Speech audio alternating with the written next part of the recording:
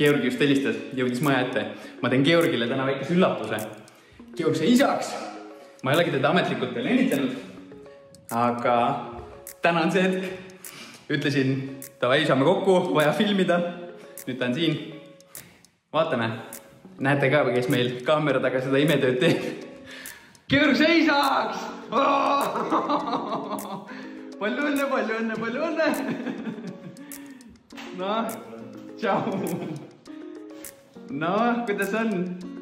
uhke. uhke, tunnen uhke. no täna on väikene tort meil, see küll söödav ei ole. siis saame väiksemaid koogikesi maitsta. poisid lasevad õhupallid viia uudistamiseks. oh, väga hea.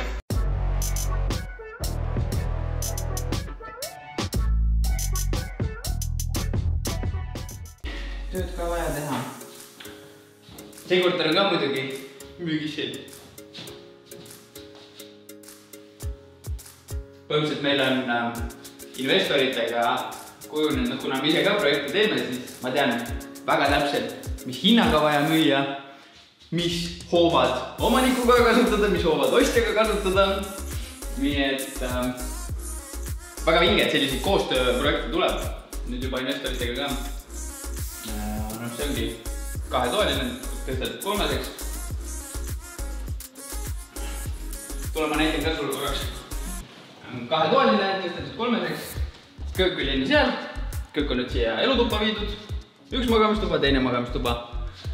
kui hea hinnaga kolme tuba on vaja, väga kõrgeid kommukaid ka ei taha siin, ülimadalat, kuna ta ongi pindalalt kahene, siis äh, kliendipäev on tulemas, no võib mul ajal ka vaatama tulla, helistage. nii on äh, tagasi olla kogu energia maakler business'isse, vanad vlogid tagasi. täna lähme äh, ühele päris vingele objektile. täies äh, mahus veel ei näita, aga saame kokku, brainstorm ime, kuidas müüa. ehk siis launch tuleb ka, ka suvel olid teistsugused eesmärgid jälle hommikul vara ülesse tihti, mingi kaks tundi jooksu, enne kui äh, tööle läksid, tööd hakkasid tegema, siis mingi noh, üheksast, kaheksast, üheksast peale, no kaksteist tundi päev vähemalt veel otsa. vahepeal tõmbas korralikult kuuli kokku küll ikka. aga kui sa siukest midagi suurt crazy't tahad ette võtta, no eks sellega peab arvestama. ma sellist protsessi armastan, mulle see meeldib, et äh, nüüd, nüüd lähme tööle, käärida käised üles ja get dirty, aga kui sul on mingi selline endal suur eesmärk, võib-olla sa ei tea isegi, kuidas sinna jõuda. pane see eesmärk endale, aga anna aega. anna piisavalt aega, et äh, kui sul tegevused selle aja jooksul ka klapivad selle eesmärgiga, selle ambitsiooniga, siis, siis sa jõuad sinna. ilmselt vahepeal tuleb enda lähenemist korrigeerida, aga kui sa endale piisavalt aega annad, tegutsed, siis lõpuks ongi inimesed küsivad, no kuidas sa seda tegid, kolm kolmkümmend maraton. How? ja selle taga oli kõva töö. nii et seadke suuri eesmärke.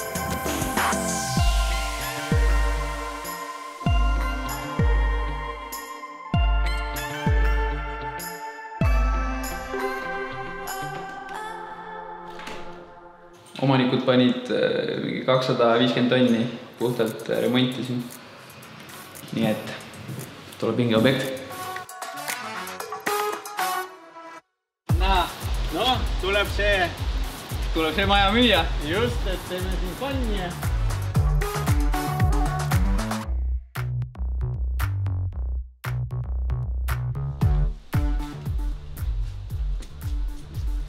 isegi siit sa saad kui keegi on saabunud. täna tulebki brainstorm ida, mis on peamised argumendid. miks keegi selle maja peab ostma? miks, sul on kaks maja. sul on kaks.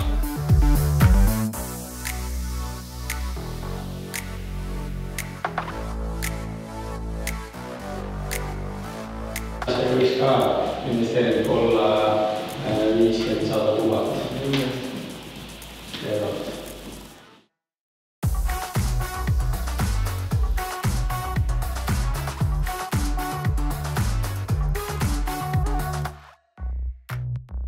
mis summa, mis tuli, noh, kes tuleb, ei tule. see on üks event.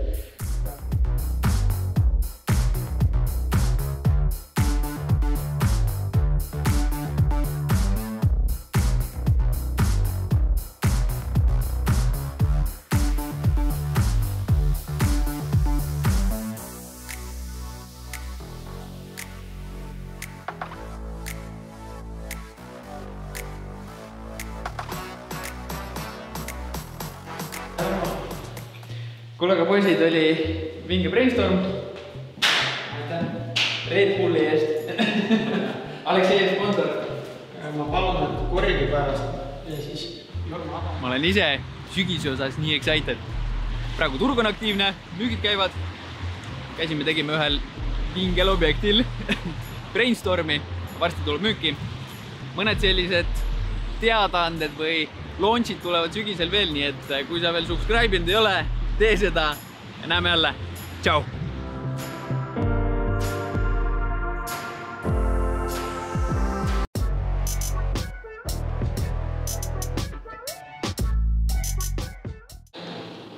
kliendipäev tulemas, kaheksateist kümme, tulge kohale. niisama võib ka helistada. vaatame tulla. kihvt korter on. olen Tai. liigume. midagi